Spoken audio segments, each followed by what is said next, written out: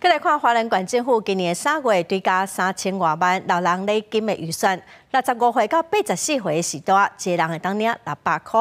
这案哦还未通过议会审议，也毋过有部分的公所已经先发钱咯。有议员就质疑讲，安尼做是违反预算法。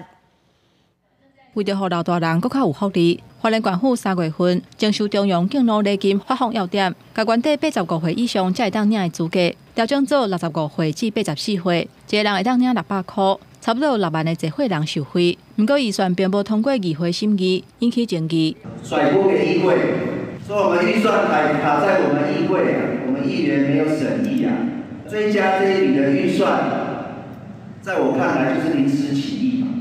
明年又是选举年，又一何在？这个案在今年三月修正。九月上新的时阵，因为一百十二年度，官府总追加的预算向规个退倒转去，官府社会处煞袂记得甲乡镇公所通知暂停执行，为公所先贴钱已经先分出去，随随乡公所甚至已经拢发放完成。